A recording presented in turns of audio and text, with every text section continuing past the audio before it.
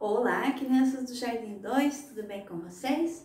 Vamos dar início à nossa aula de hoje e nós vamos utilizar o nosso livro didático no volume 1, na página 21. Vocês lembram que na outra aula a tia Mônica contou a historinha do menino maluquinho, certo? Então aqui nós temos que fazer o que nessa página?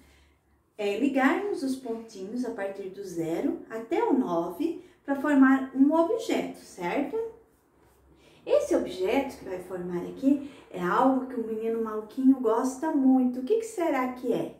Vocês sabem falar para a tia Mônica? E aqui embaixo nós vamos ter que completar com as vogais A e E para formar a palavrinha desse objeto que vai formar aqui em cima, certo?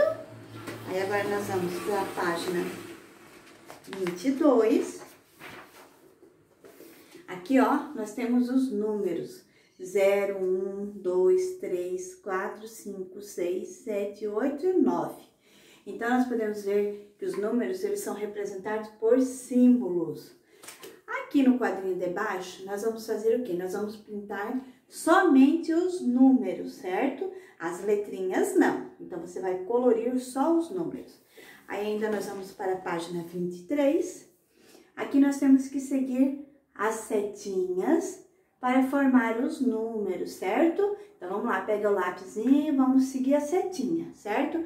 Nós temos 0, 1, 2, 3, 4, 5, 6, 7, 8 e o número 9 ainda, certo?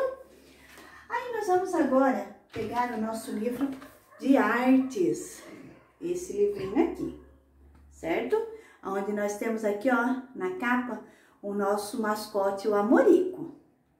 Aí, nós vamos lá na página quatro, certo? E nós vamos o quê? Nós vamos observar essa imagem. Quem foi que pintou essa imagem? Como é o nome do quadro? A tia Mônica vai falar para vocês em que ano foi é, pintado esse, esse quadro. O nome desse quadro é Roda Infantil e quem pintou ele foi o artista brasileiro Cândido Portinari em 1932. Então, o que, que nós estamos observando aqui nessa imagem? Eu vou virar o livro assim, ó, para vocês conseguirem visualizar melhor. Aqui nós estamos vendo algumas crianças, né, numa cidade, num bairro, né, brincando de alguma brincadeira de roda, de ciranda, certo?